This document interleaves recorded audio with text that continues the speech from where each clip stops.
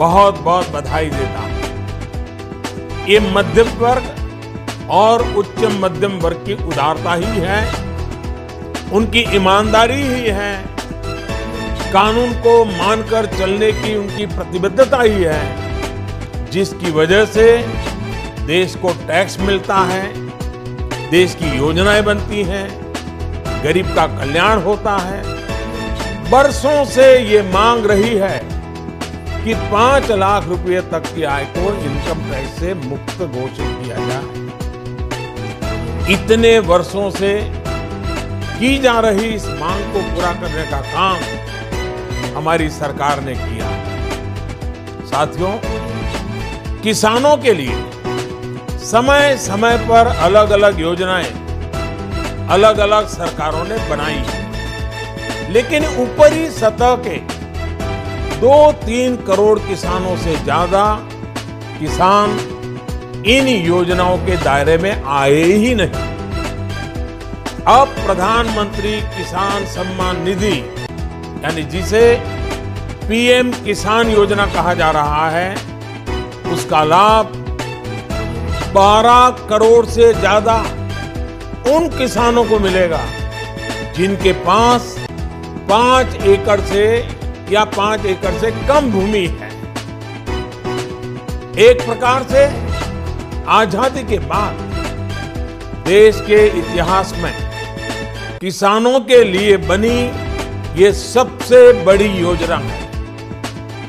हमारी सरकार किसानों के लिए एक के बाद एक ठोस कदम उठा रही है। पशुपालन, गौ संवर्धन मछली पालन, जैसे ग्रामीण जीवन और कृषि जीवन से जुड़े अहम क्षेत्रों का भी इस बजट में विशेष ध्यान रखा गया है।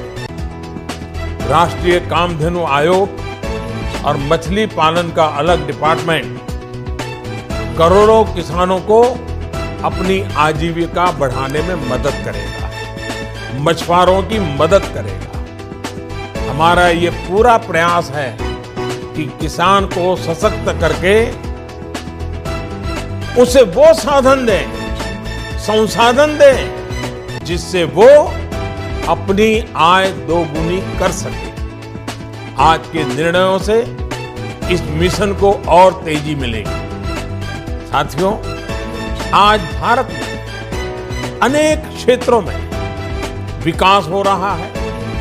नए नए प्रकार के क्षेत्रों में नए नए विस्तारों में नए नए प्रकार की योजनाओं में प्रगति हो रही है और इन क्षेत्रों में काम करने वाले लोगों की संख्या भी निरंतर बढ़ती जा रही है। लेकिन असंगठित क्षेत्र के श्रमिकों, मजदूरों अनऑर्गेनाइज लेबर जिसमें घर काम करने वाले लोग हों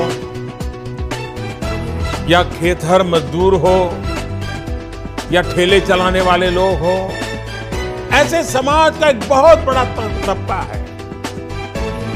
मेरे भाइयों बहनों, इन मेरे बंधुओं की चिंता कभी नहीं की गई। उन्हें उनके नसीब पर छोड़ दिया गया। हमारे देश में इनकी संख्या अनऑर्गेनाइज लेबर की संख्या करीब करीब 40-42 करोड़ है। उनके लिए प्रधानमंत्री श्रम योगी मानधन योजना उनके जीवन के उत्तरार्थ 60 वर्ष की आयु के बाद की ज़िंदगी के लिए बहुत बड़ा संबल होगी।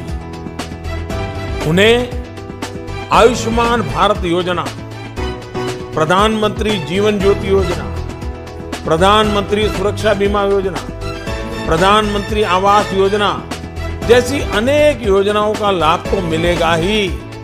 बूढ़ापे में रोज़मर्रा की ज़िंदगी गुजारने के लिए पेंशन भी मिला करेगा।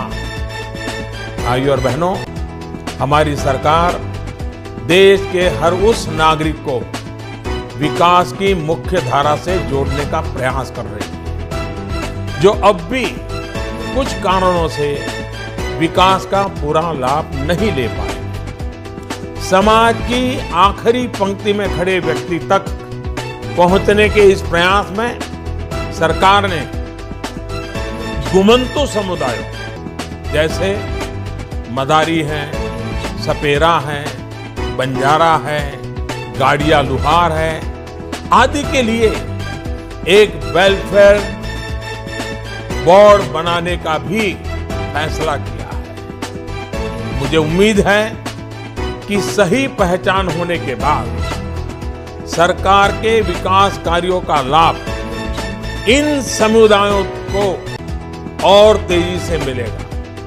साथियों, व्यापारी वर्ग के लिए ट्रेडर्स के लिए कोई मंत्रालय हो, उस विचार से एक नवी व्यवस्था का विकसित करने की दिशा में हम आगे बढ़े देश के व्यापारी वर्ग ट्रेडर्स और अनेक कर्मचारियों की आवश्यकताओं को समझते हुए उनकी जरूरतों को पूरा करने के लिए डीआईपीपी को रिस्ट्रक्चर करके उसे विशेष ज़िम्मेदारी दी गई है। अब ये विभाग department for promotion of industries and internal trade के नाम से जाना जाए।